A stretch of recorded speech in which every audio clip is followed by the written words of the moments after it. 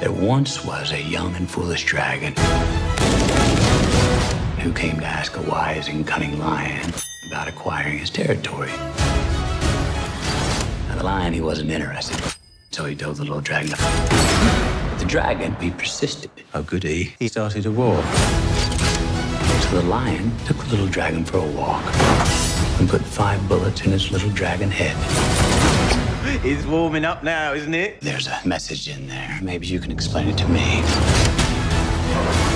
The young succeed the old. Enjoy the show. Bang, bang, bang, It's gonna get messy.